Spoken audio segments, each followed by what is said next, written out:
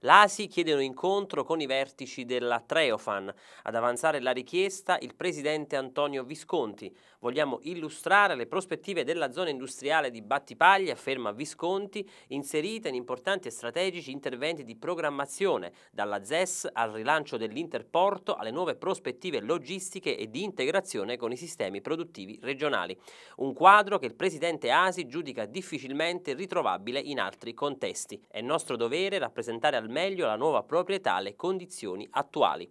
Nei giorni scorsi anche la Giunta ha preso posizione sulla questione dando mandato alla sindaca di seguire la vicenda in stretta relazione con lavoratori e sindacati concordando con essi forme di lotta e tutela dell'occupazione.